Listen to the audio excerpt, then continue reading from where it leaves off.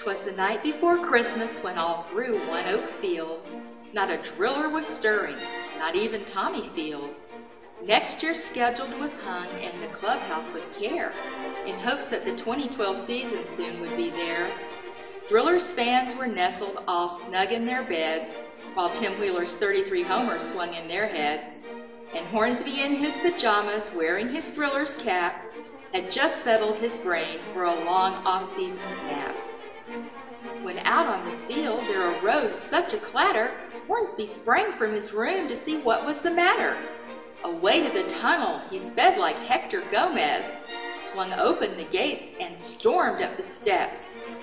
A full moon was shining on the new fallen snow, and Hornsby pitched snowballs like Juan Nicasio. When what to his wondering eyes should appear but a miniature sleigh and eight tiny reindeer. With a little old driver so lively and quick, Hornsby knew in a moment it must be St. Nick. More rapid than a fastball, his reindeer they came, wearing Texas League caps. Then he called them by name. Now Driller, now Natural, now Hook, and now Mission. On Springfield, on Arkansas, on Frisco, and on Midland. To downtown Tulsa. ONEOK Field is the name, and June 28th is next year's Texas League All-Star Game. Like curveballs that after a windup they fly, leave Drew Pomeranz fingers and twist in the sky, so too did the reindeer, onto the mound they flew, with a bag of balls, hats, and bats, and St. Nicholas too. He was dressed in driller's gear from his head to his cleats, and his jersey red Kringle, which Hornsby thought was neat, Bundles of 2012 season tickets he held, and to his new blue friend he just waved and smiled.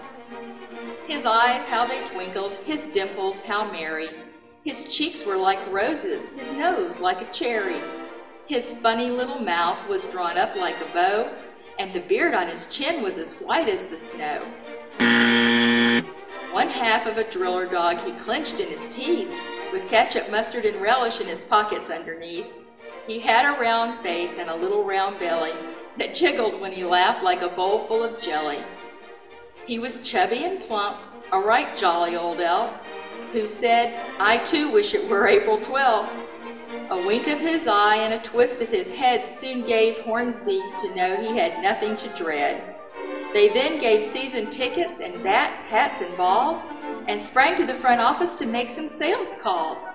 And then they ran downstairs to Hornsby's room. St. Nick said, For when you sweep, a new broom. Every driller's locker was then filled with nice things like new jerseys, new socks, and new blue shoestrings. The pair then skipped to the lobby's front desk with a super Tulo bobblehead, simply statuesque. New merchandise and toys to driller fans' delight, St. Nicholas did much with Hornsby this night. But alas, their time together had about run out, and St. Nicholas had to get back on his route. Back on the mound now, he sprang to his sleigh, and with a whistle, he and his fleet flew away. But before he disappeared, Hornsby heard him call, Merry Christmas, Tulsa drillers, and Hornsby, play ball.